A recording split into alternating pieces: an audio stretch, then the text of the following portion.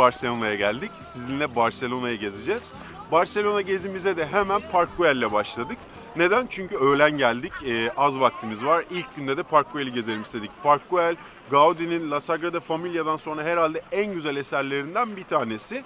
Öncelikle bir konut alanı olarak inşa ediliyor. Daha sonra e, devlet tarafından parka çevrilip halka açılıyor.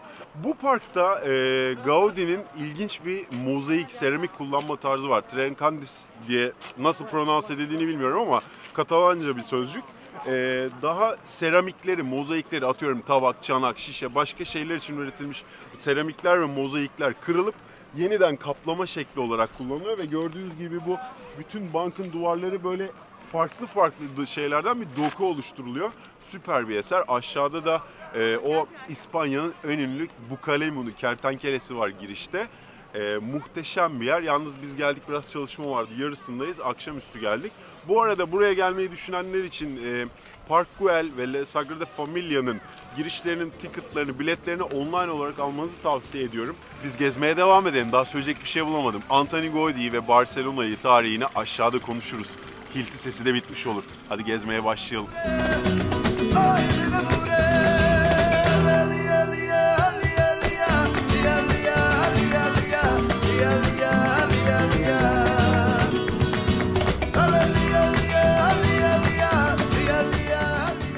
Buket, Aa, Mert? dünyanın en uzun bankında oturmak nasıl bir duygu? Aa, evet harika. Dur bir oturayım da bakayım nasılmış. Harika. Boyum da uzadı.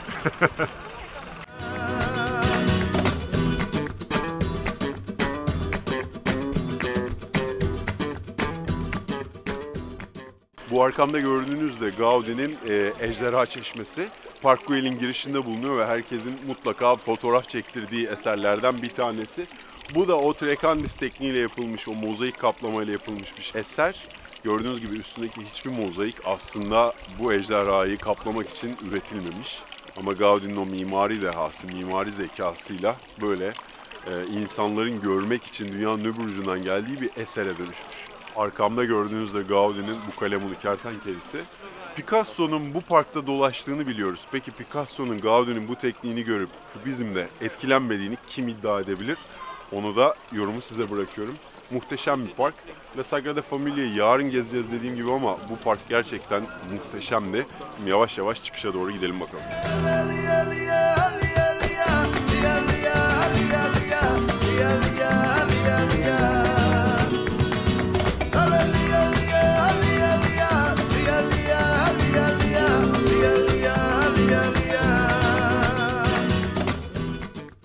Barcelona gezimizin ikinci gününde Gaudi'nin o muhteşem eserine La Sagrada Familia'ya geldik. Burası Barcelona denildiği zaman herhalde akla gelen ilk yapılardan biridir diye düşünüyorum. Bu yapının e, ilginç bilgileri, garip şeyleri var. Onları da sizlerle paylaşacağım. Mesela dünya üzerinde 135 yıl boyunca tamamlanamayan tek yapı bu. Ayrıca yapının inşası devam ederken ilk yapılan bölümlerin restorasyonunun da yapıldığı ilk yapı bu. Yani yapı bir yandan e, yapılmaya devam ederken bir yandan da restorasyonu yapılıyor eski bölümlerinin. Burada 9 tane UNESCO Dünya Miras Listesi'ne girmiş eser var Barcelona'da. 7'si Gaudi'ye ait. İçeride de sizle konuşuruz bu yapının tarihini, Anthony Gaudi'nin bu yapıya nasıl hayatını adadığını. Şimdi yavaş yavaş içeriye doğru girelim bakalım.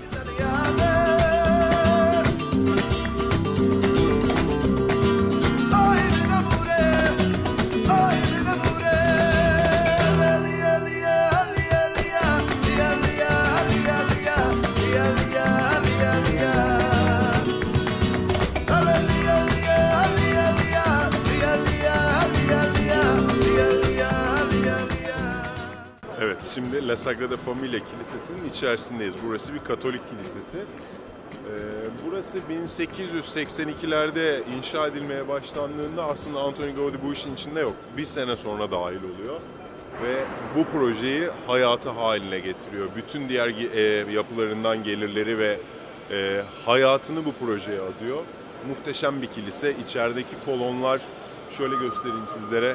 Böyle bir orman içindeymiş hissi yaratmak için dallanıp budaklanıyor ve hepsi taş, beton kullanılmıyor. Beton sadece inşaat devam ederken artık yapı malzemeleri değiştiği için kullanılmış. Burası UNESCO Dünya Miras listesinde bir yapı. Bittiği zaman 170 metre yüksekliği olacak. Tabi bu yapının talihsiz zamanları da oluyor. Nedir o? Ee, İspanya İç Savaşı'nda ne yazık ki buranın esas çizimleri, eskizleri kayboluyor. Ve bugün Gaudi böyle yapabilirdi diye bir öngörüyle devam ediyor proje. Ee, ne yazık ki savaş burayı da e, bu yapıya da dokunuyor. Tabii 2. Dünya Savaşı geçiriliyor falan öyle sıkıntıları oluyor. Taş işçiliği insanın böyle ağzını açık bırakıyor. Nasıl böyle bir mimari güzellik olabilir diye. Şimdi içeride tadilat da devam ediyor. Herhalde dünya üzerinde bir anda inşası, bir anda tadilatı devam eden başka bir yapı yok. Biz 35 yıl olmuş tamamlanamamış. İlk başlayan yerlerin tadilatı devam ediyor. Bu eserin devam etmesine karşı çıkan e, sanatçılar da var. Mesela biri Salvador Dali. Salvador Dali diyor ki yani eser sahibi ölmüş. Esere sen nasıl hala devam edebilirsin? Bırakın o Barcelona'nın ortasında çürüyen bir diş gibi dursun. Ama e, bunun devam etmesi gerektiğini düşünenler de var. Yani sonuçta bu bir resim değil. E, dolayısıyla bu eser bitirilmeli, buraya kazandırılmalı diyen. Tabii buna hani ben bir şey diyemem ama e, ilginç tartışmalara da sahne oluyor bu yapı. Barcelona'nın herhalde e, en önemli yapısı. Yani Barcelona dendiği zaman herkesin aklına gelen bir yapı. Hadi bakalım şimdi yavaş yavaş buradan çıkalım. Daha gezeceğimiz çok yer var.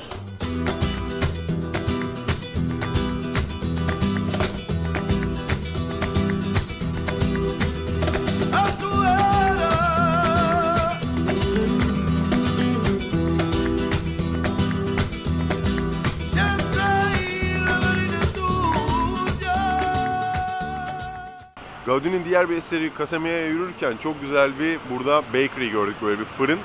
E, Boulevard diye. Hatta otel seçerken buraya bakmıştık. Altı e, fırın, üstü otel ama içeride muhteşem böyle e, ekmekler, sandviçler var. Şimdi biraz bir şeyler yiyip bir kahve içeceğiz. Ondan sonra da yavaş yavaş Gaudi'nin diğer eserlerini görmeye geçeriz. Ey,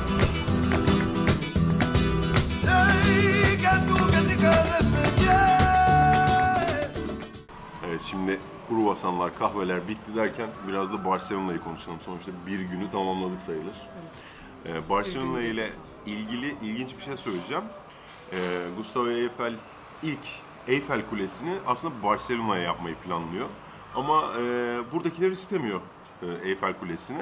Onun üstüne Paris'e yapılıyor. Herhalde Aa keşke Ee, isteselermiş. hayatlarının en büyük hatasını orada yapmışlar yani. Neyse. Gaudi e, imdatlarına İmdatlarını yetişmiş. Antoni Gaudi e, üzerine kurulmuş yani birçok gezilecek yer aslında Evet. Antoni Gaudi'nin. Önce onları bitirdik. Sagrada Familia'yla. İlk gün dün nereyi gezmiştik? Park Güell. Park Güell'i gezmiştik. 20-25 tane Michelin yıldızlı şefi var. Hani biz Yemek akşam konusunda değiller. yemek konusunda da iyiler bilmiyorum sen beğendin mi? Gerçi Mert çok. Ben çok beğenmedim çünkü benim tapas anlayışım biraz daha Endülüs yöresindeki gibi Little böyle. Little in the Middle'ı sevmiyorum. Ha, Ha, bunlar- gerçi Endülüs'teki de öyleydi. Güzeldi. Onlar hakikaten Lidl'dı. Ya Burası Lidl'ın ötesi. Yani Yani- çünkü biz dün bak bayağı bir tapas e, restoranı gördük. Hepsi ekmeğin üzerine. Ya hani annen küçücük- sürer ya ekmeğin üzerine. ekmeğin üzerine domates Yemeği. sürüp tapas diye geliyor. Böyle mesela bir yemeğin yanında domates geliyor. O domates ben yemeğe koyarım falan gibi bir Nerede şeyler. o sardalyalar, şeyler Onları falan. bulacağım ama.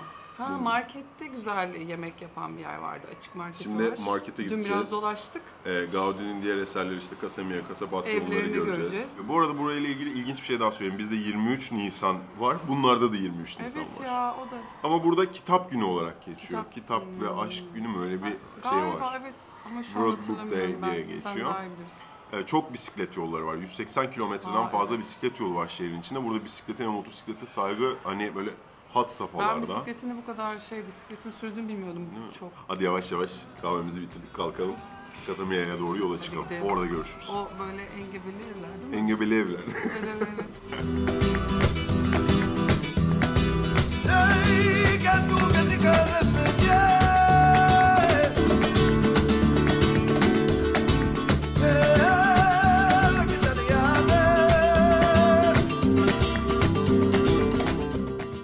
Arkamda gördüğünüz de Antoni Gaudi'nin Casa Mila adlı yapısı diyelim.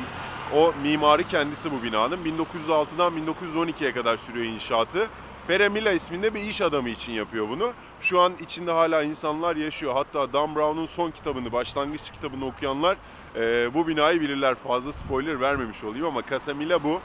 E, içerisini gezmeyeceğim. Hani sonuçta içerisi normal bir bina ama dış cephesi muhteşem. Burada Gaudi'nin amacı okyanus üstünde dalgalanan yosunları betimlemeye çalışıyor. E, gerçekten çok e, Art Nouveau sanatının e, efsanevi eserlerinden biri diyebilirim. Art Nouveau bu arada İstanbul'da da 18. 19. yüzyılda e, yanılmıyorsam Taksim Galata'da e, hayat buldu. Ama tabi burada o Art Nouveau sanatının en önemli eserlerinden birini görüyoruz. Antoni Gaudi çok güzel bir eser ortaya çıkarmış. Biz şimdi e, Gracia Caddesi'ndeyiz. Ünlü markaların, mağazaların olduğu yerdeyiz. Şimdi buradan yavaş yavaş aşağıya doğru, Las Ramblas'a doğru ineceğiz. Diğer Gaudi'nin eserlerini göreceğiz. Böyle de günü geçireceğiz. Casamila gördük. Şimdi diğer eserlere doğru yola çıkıyoruz. Eh,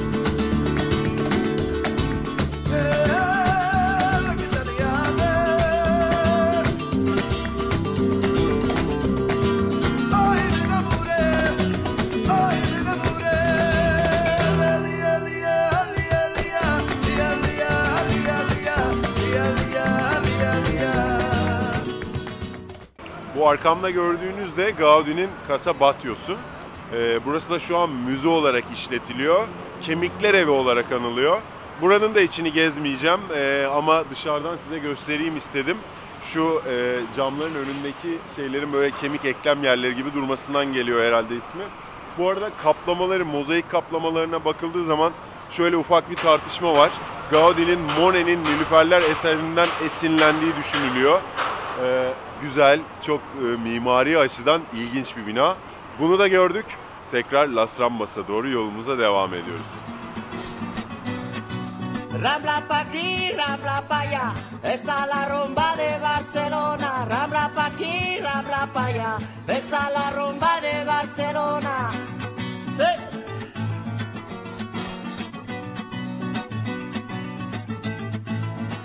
Rambla, Rambla pa aquí, Rambla pa allá, esa la rumba de Barcelona. Rambla pa aquí, Rambla pa allá, esa la rumba de Barcelona.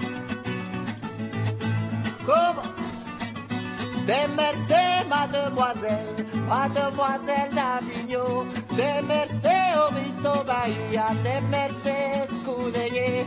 Rabla pa aquí, rabla pa allá, esa la rumba de Evet şimdi La Sagrada Familia'dan beri yürüyoruz. Ee, Casa Mia, Casa Batio'yu gördük. Orası da Guiz neydi? Gracia Caddesi'ydi. Gracia Caddesi'nde bayağı e, İtalyan. İtalyan markalar Falan. vardı. Şimdi e, Katalunya meydanına geldik. Burada böyle e, şöyle göstereyim. İnsanlar güvercinleri falan besliyor. E, Katalunya meydanından da Las Ramblas'tan e, plaja kadar aşağı kadar yürüyeceğiz. Las Ramblas'ı üstünde yürürken konuşuruz. Oo güvercinler coştu.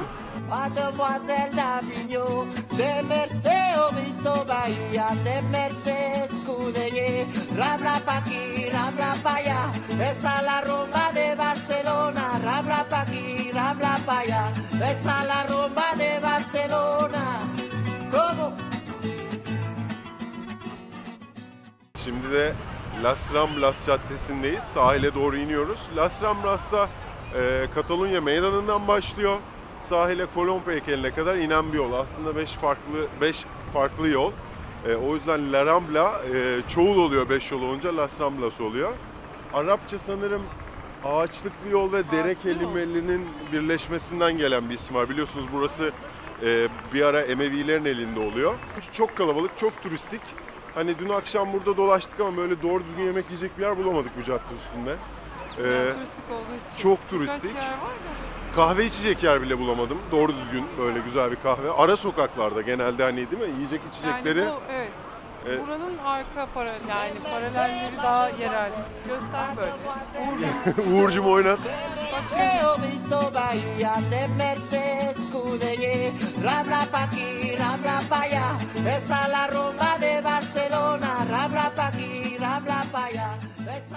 Evet şimdi de La Bocoria denen o ünlü pazara geldik. Burada meyveler, balıklar, yemekler ne istiyorsanız var. Hatta buraya gelip yemek de yiyebilirsiniz. Size şimdi bu pazarı göstereceğim.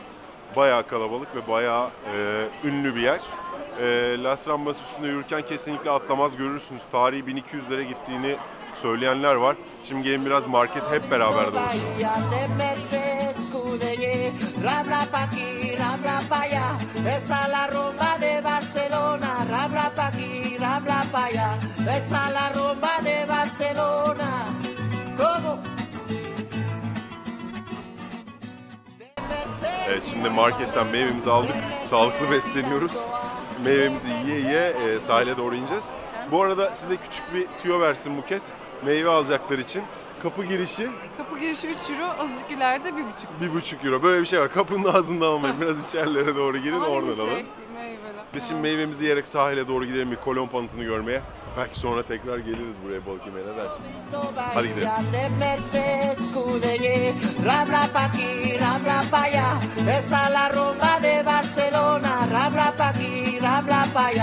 Esa la rumba de Barcelona, rabla Evet şimdi Las Ramblas'ın sonundaki Kristof Kolomb anıtına geldik.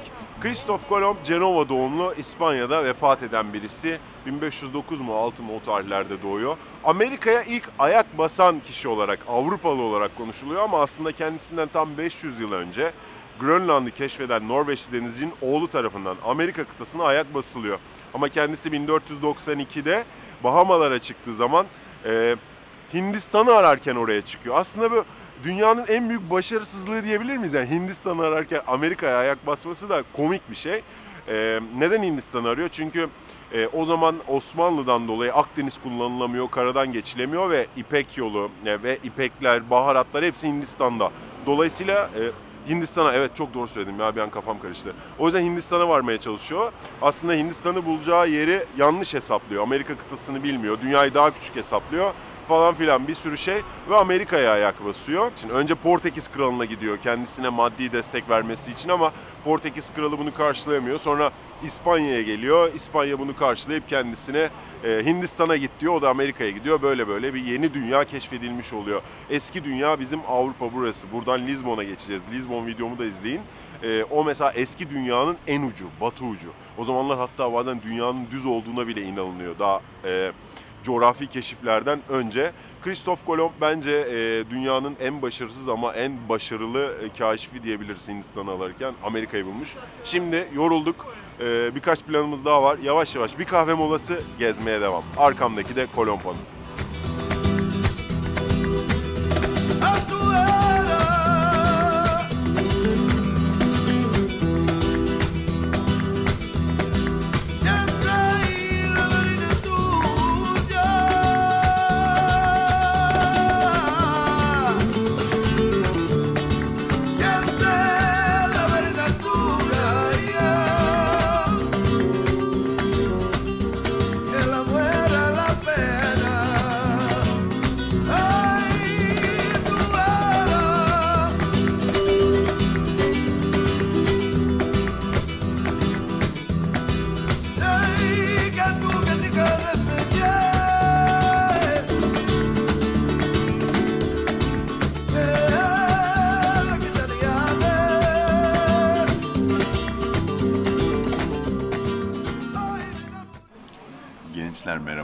Barcelona'daki üçüncü gün. Bugün yağmurlu bir güne uyandık. Sabahtan beri bitmek bilmeyen bir yağmur var. O yüzden kendimizi güzel bir kahveci yaptık.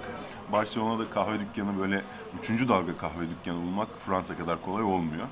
Biraz yürüyüp güzel bir yer bulduk. Bugün de böyle kapalı yerleri gezeceğiz. Bugünkü planımız ne Buket? Neler yapıyoruz? Söyle bakalım. Ama önce diyorum ki şeye gidelim. Nereye? Ee, John Miro Miro'nun eserlerini görmeye diyorsun. evet, müzesine gidebiliriz. Bence de. O da Mo- Montjuic. Mont Dağ O demekmiş. Juic Dağı'nda. Montjuic. Dönelim burada e, marketi gezelim. Markette güzel deniz ürünleri falan yiyelim. Markette yemek yiyelim. Yemek yiyelim. Sonra e, vaktimiz kalırsa biraz Barigotik denen o eski Roma'dan Gotik kalma. bölgesinde biraz fotoğraf çekelim. Yağmur edilmiş Tabii. olabilir. Yağmur çok olduğu için ben dışarıda bu kamerayı, yani normal çekim yaptığım kamerayı çok çıkaramıyorum. Hani ıslanma Evet, sorunu son için. gün böyle oldu ya. İlk gün güneş inanılmaz sıcaktı hatta terledik. Belki Dün çok birazdan güzeldi. durabilir. Bugün yağmur var. Sonra da biraz bu şeye bakarız. Buranın e, böyle her 5 adımda bir bir H&M, bir Zara, Ha, bir biraz Bershka gibi indirim e, döneminden mağazaları belki var. birkaç bir şey alırız. Aynen bak gözler nasıl parlıyor. Aslında aldık şaka yapıyoruz da Gene belki bakarız. Aldık mı? Aldım. Özür dilerim aldım. Evet. Aslında ben normalde alışveriş e, kısmına girmem 3-4 günlük böyle tatilde hani tarih, yani tarih, daha turistik yerlere vakit ayırıyoruz ya da ara sokaklarda dolaşıyoruz da şimdi çok indirim vardı dayanamadım. Bir de e, İstanbul'da olmayan bazı ürünler burada vardı. O yüzden Hava yağmurlu ama öyle bir kârı oluyor. Bu arada şey de söyleyeyim hani Barcelona'da mesela bir İtalya kadar, bir Fransa kadar çok bir tarihi bir şeyde aslında çok Yani- geçmişe giden bir tarih yok. Gaudi olmasa ne yapacaklarmış? Tabii. Tekrar aynı yere söylüyor. Yani şey gezil-. Adam gezilecek- uğraşmış uğraşmış. Gezilecek şeylere baktığın zaman 1800'lerden sonra tamam Romalılarda hatta hatırlarsanız Gebze gezimde hani bu Barka'nın mezarına gitmiştim. Onun babası aslında e, Hamilcar Barca buraya yıktı. Barca. İsmi de orada geliyor. Barça, Barca, Barcelona diye. Aa. Tabii İberya Yarımadası'nda bir kasaba üstüne kuruluyor. Bu videoyu unutmuşum. Ee, ama e, şey yani hani ne bileyim bir Fransa'ya gittiğin zaman çok daha bir veya İtalya zaten hani o konu Roma aşmış bir şekilde Evet, ileride. Bu konuda harika. Türkiye hepsinden fazla aşmış şekilde. Yani hani ben daha hayatımda gerçekten Türkiye'deki tarihi Türkiye ya. dünyanın hiçbir ülkesinde göremedim. Hani gidiyorsun Konya'ya, Çatalhöyük'ü görüyorsun. Bence insanlar. işte bizde satış ve pazarlama yok. Evet. Şurada bir tane bina yapmış, içeri giriş 28 euro ya. Aynen. Biz yavaş Konuşacak ne yavaş kaldı? çuf çuflayalım. Müzede konuşuruz.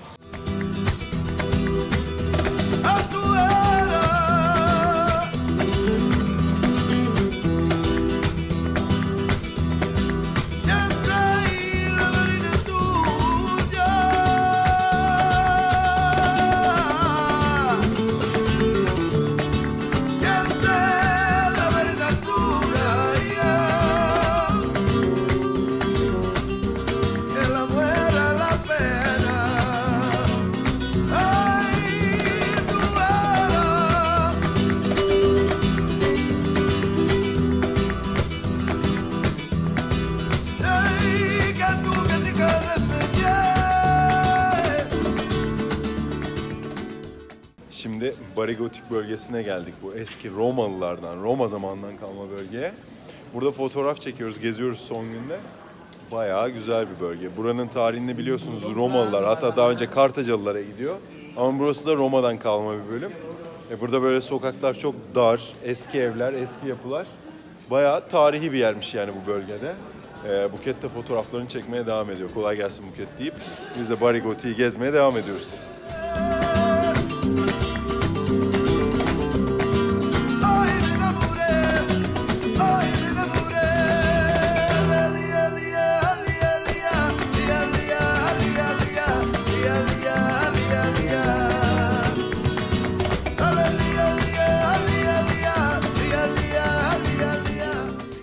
Miro'nun müzesine geldik. Eserlerinin sergilendiği yere. Ee, son yarım saat kapanmasına bakalım içeri girebilip biraz gezebileceğiz mi göreceğiz.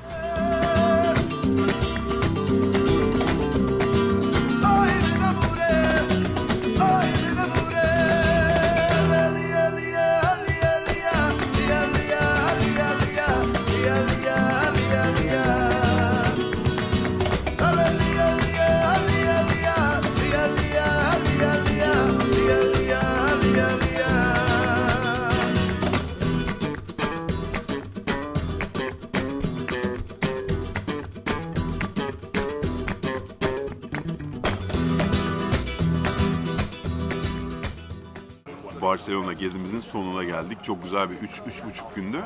Evet şimdi biz yavaş yavaş Lizbon'a geçiyoruz. Bizi izlediğiniz için teşekkür ederiz. Kendinize iyi bakın. Lizbon gezisinde görüşmek üzere. Lisbon'da görüşürüz.